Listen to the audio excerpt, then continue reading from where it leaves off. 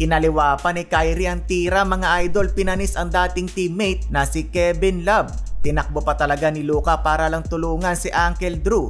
Hindi makapaniwala si Coach Po at Jimmy Butler.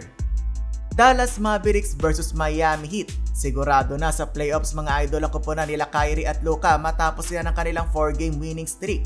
Habang sina Jimmy Butler ay sumusubok pang umakyat sa standings at makakuha ng automatic playoff spot.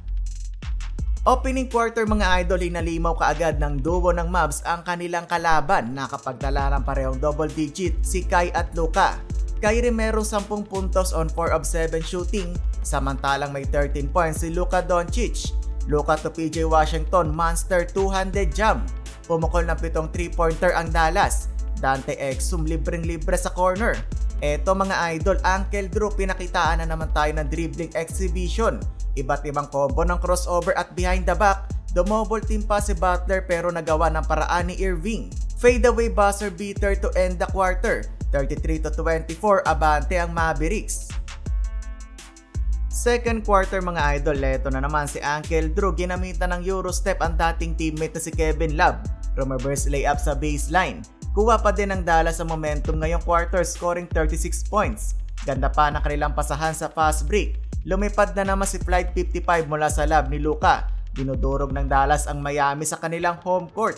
Biglang humalimaw late ng season ng kupunan ng Mavs mga idol. Hindi na naman nagmiminti si Daniel Gafford at nagtala ng 10 points on 5 of 5 shooting.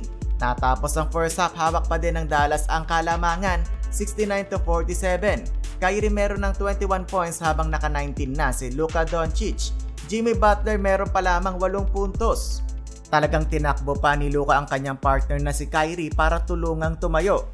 Iba din yung brotherhood ng dalawa kaya ganito na lang ka-successful ang kanilang team.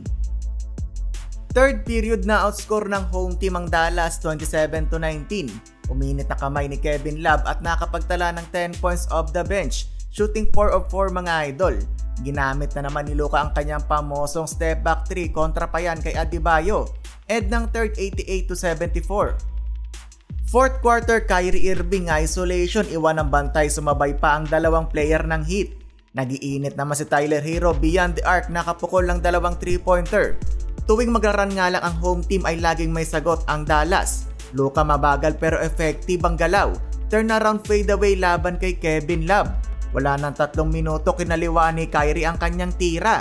105 to 90. Last 2 minutes mga idol pinaglaro na ang mga bench players, may 15 point lead na kasi ang Dallas. 111 to 92 ang final score. Tuloy-tuloy ang panalo ng Mavs, Luka 29 points, 9 rebounds, 9 assists, almost triple-double.